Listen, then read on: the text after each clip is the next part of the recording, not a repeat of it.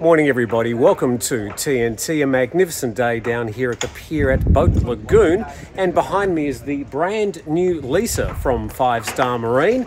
And this is the boat that, uh, well, they're describing it as a sports cruiser, a new addition to the fleet, and it complements their 12 Lucas boats that we're all well aware of if people are taking private tours out to the islands off Phuket. And uh, we hope to find out more about Lisa in another program. But for now, let's get started with today's news.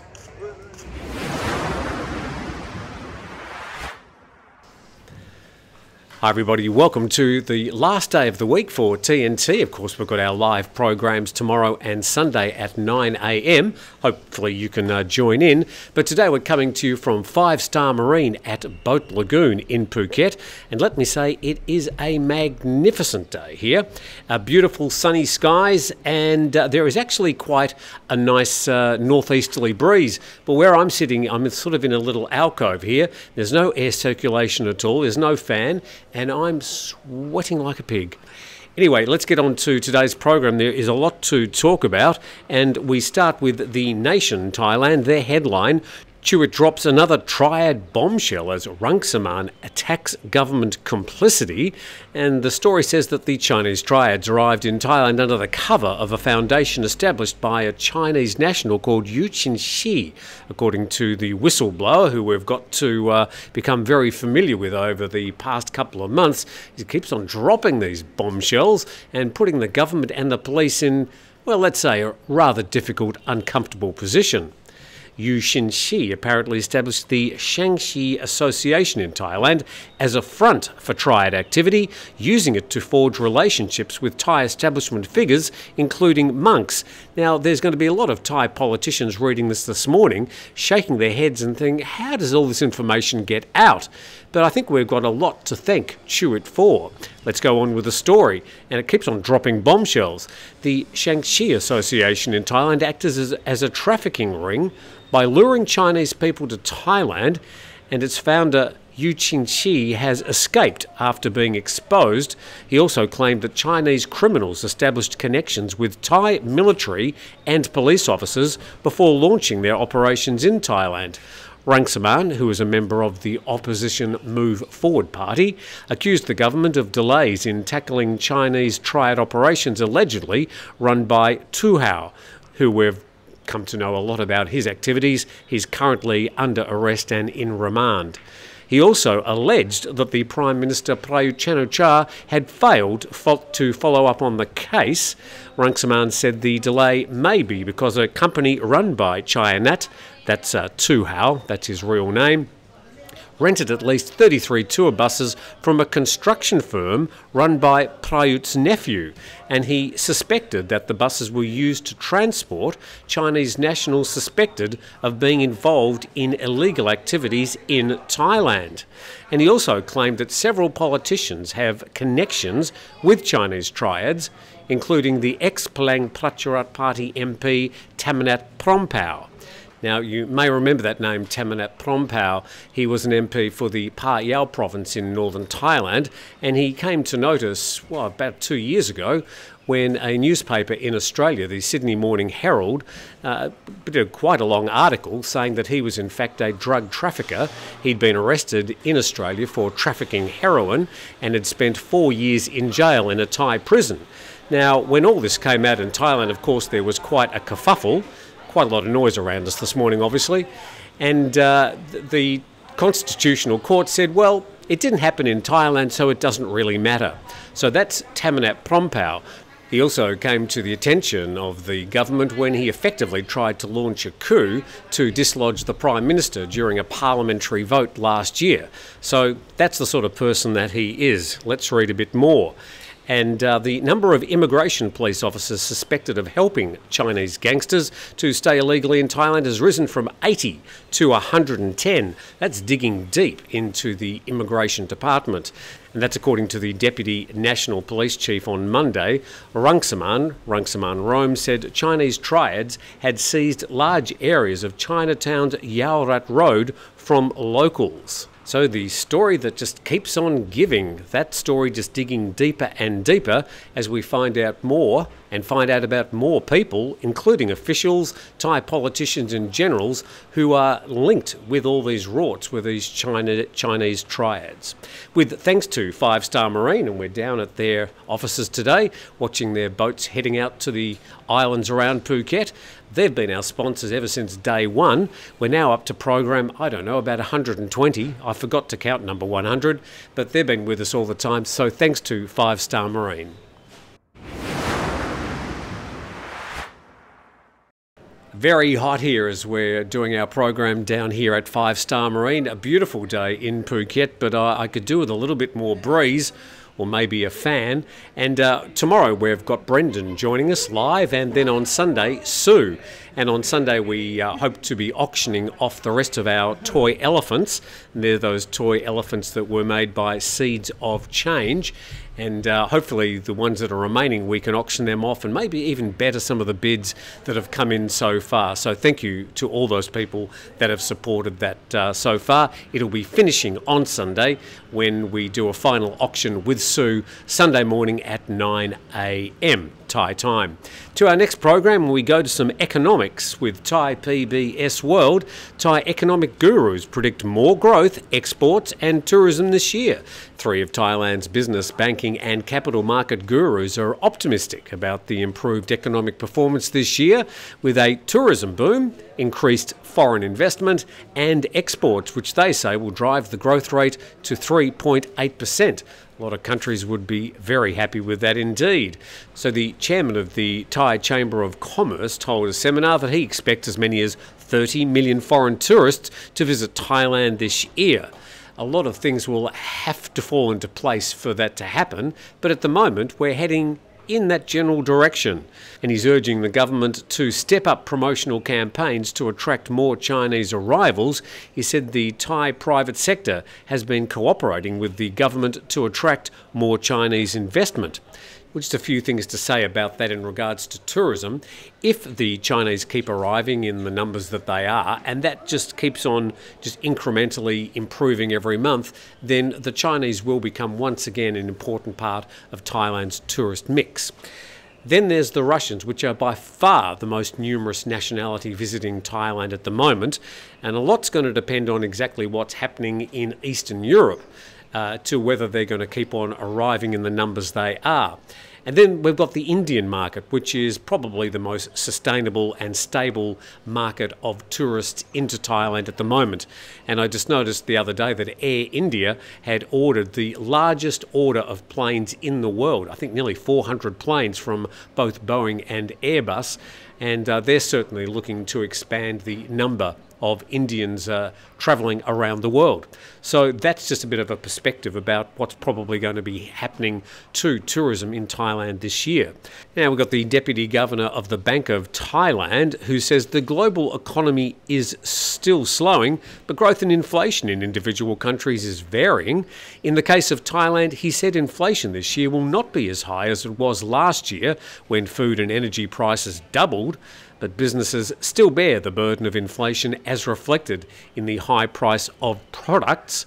And then we've got the president of the Stock Exchange of Thailand saying that Thailand's economy is recovering with an expected higher growth rate. And then we've got the president of the Stock Exchange in Thailand saying that Thailand's economy is recovering and that the baht currency strengthened to 34 baht per US dollar compared to 38 baht at the end of last year. I get paid by Google, so I'd be very happy if the uh, US dollar stays high to the baht, but at the moment, that's not the case. The strong points of Thailand, he says, are the food industry and tourism.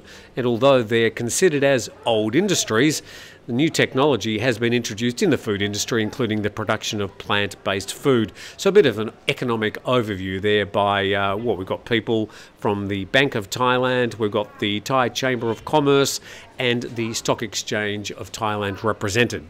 Let's move on to our next story today on TNT. This from ASEAN Now.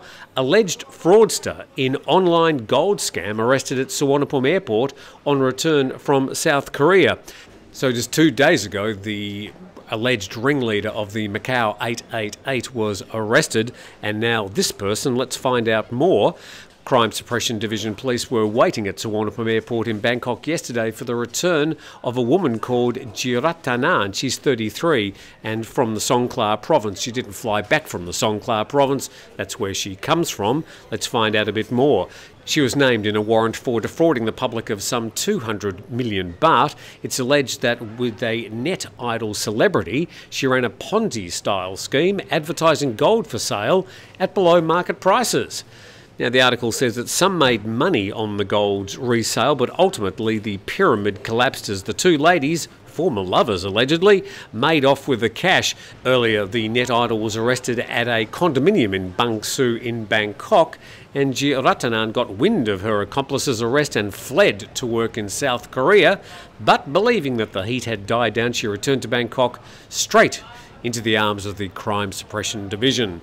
So another scamster in custody and Thailand's jail's getting very full with these scammers. Let's go to our next story and a bit of a thumbs down to the BBC and uh, the writer in Southeast Asia, Jonathan Head, for this particular headline. And this is following the death of young Dom, the 17 year old former, well, he was a wild boar, one of those kids caught in the caves in uh, Chiang Rai. And this headline says Thai cave rescue, Phet Phromthep's death shatters happiest of endings. Well, I think that's uh, just in poor taste, uh, using happy endings as a cute little headline in such a tragic story. So, big thumbs down to both uh, Jonathan Head and the BBC on that one. And uh, just reading a bit of that story, the astonishing saga of the Thai boys rescued from the cave in July 2018 was the rarest of things in the news business, a tale with an almost flawlessly happy ending. And I get what they're trying to do there, but I just think it's in very poor taste. So, big thumbs down to Jonathan Head if you came up with a headline, or to the sub editor that did. Let's move on to our next story today and update. Police confirm Thai woman found hanged in Patong, not a murder. Canadian man detained, likely not involved. And just within that one headline, I think we've got the entire story. Let's just go to what this says in the thephuket And the Deputy National Police Chief Surachate Hakparn has confirmed a Thai woman found hanged in Patong was not a murder victim, and her Canadian boyfriend, who was detained at an airport trying to leave Thailand, was likely not involved. So that's the latest on that particular story. Investigation is pending. And now uh, from Phuket-Go.com. French motorcyclist charged with hit and run after driving into a Thai pedestrian in Patong. Now, I'm not actually going to run the video here because uh, it's pretty nasty, but um, there's a link in that particular story if you want to actually watch that video. And a Frenchman who was riding a motorbike has been charged with hit and run after a Thai pedestrian was badly injured in Patong last week. A Thai woman was crossing Soi Sanam in the centre of Patong when she was hit by a motorbike travelling at speed, and the rider did not stop to help her. And it says that four days later, on February the 14th, the rider returned the motorbike that was caught on CCTV to the motorbike rental shop the rental shop noticed some scratches on the bike, which had been fixed. And the rider was identified as a French male national. So the police were able to track him down using the CCTV footage, and he was charged with reckless driving at high speed and hit and run, causing injuries. He's going to be in a whole lot of pain for that, uh, doing a hit and run. Apparently, the woman's got critical injuries.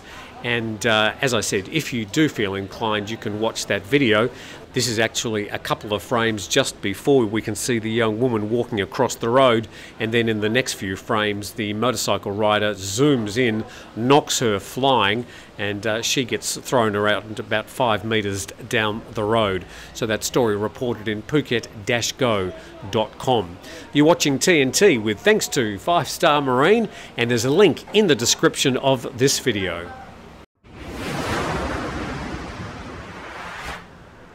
Last day of the week here on TNT. We've got our weekend programs coming up where you're all invited to join in. There's no memberships, there's no payments or anything. You can just join in the stream and make comments and ask questions. We've got Brendan on the program tomorrow and Sue on Sunday. Now, uh, to another one of these media stories that perhaps didn't need to actually be reported, but uh, Coconuts Bangkok have pointed this out. That's coconuts.co, their Bangkok edition. Korat Zoo releases Lion Couple's Valentine's Day sex tape. We want to know more. Two African lions celebrating Valentine's Day in the most natural way possible had their lovemaking broadcast to the world. And this happened on uh, Wednesday by zoo officials. And a large lion named P. Nayak was filmed mounting his lover called Nong Caesar before finishing and striding away in footage posted by the zoo in Korat. This is Nakhon Ratchasima, about three hours northeast of uh, Bangkok. During their short lived sex session, a man's voice can be heard loudly, loudly counting the eight seconds that pass. And so the veterinarian from the zoo said this video clip's made for entertainment purposes only. There's no intention to infringe copyright or privacy in any way, and no intention to communicate in a bad way. Not sure if they got permission from the lions. And down the bottom there, just why did the zoo need to share this fleeting moment of feline fornication? Why to educate the public about the African lion mating season? So we all know now. And if you absolutely have to, in that coconuts.co story, there is a video there that you can watch if you really think that you need to. And to another one of these strange stories, and this is not to do with Thailand, it's not even around Southeast Asia, but I absolutely had to read this one out because there are quite a lot of these sushi bars around Thailand. In fact, a lot of Japanese expats, and uh, in fact, the most numerous number of expats in Thailand are the Japanese. So there are quite a lot of Japanese restaurants, and we've seen these sushi trains. Well, get this story. The morning after, a Japanese restaurant combats sushi terrorism with AI cameras. Let's get into this story. Many people in Japan have been outraged by a recent trend dubbed sushi terrorism. Videos across social media show people carrying out all kinds of unhygienic acts, like licking the spoon for a container of green tea powder. Another video, which has had more than 98 million views on Twitter, showed a person licking the top of a soy sauce bottle and a teacup's rim before putting them back at a branch of Sushiro chain. The company said it's replaced all the soy sauce bottles and cleaned every cup at the affected restaurant. Imagine people watching viral videos of people licking cups and dipping their fingers into uh, some of the food. To combat this gross trend, one chain said it would use artificial intelligence to look for suspicious opening and closing of sushi plate covers. And the story originally from Nikkei Asia says that if the system detects suspicious behaviour, it will alert employees. Now, these people that have been doing the sushi terrorism have, of course, been caught on camera, so I would have thought they're fairly easy to identify. Let's check out some of the video and uh, showing, oh dear, sticking his finger onto that meal, proudly showing who they are. So these are these sushi trains. I'm not sure if you've uh, been to one of these restaurants. Quite entertaining. And uh, people, of course, grab them, but this you don't do this. You don't stick your finger in your mouth and then onto the food, or get a teacup and have a good lick of the rim. So uh, there's plenty of videos. If you just type sushi terrorism into your search engine, Uh, you can watch hours of sushi terrorism underway. But with that, thank you very much for joining us on our TNT today. Been a great week, and I've really appreciated you joining us on the channel. Thank you to all those people that have subscribed. For those of you that haven't, it doesn't cost you anything. We're not going to send out emails or anything. It just means that the YouTube algorithm does some magic and it helps our channel along. Thanks for watching, and we look forward to seeing you again tomorrow.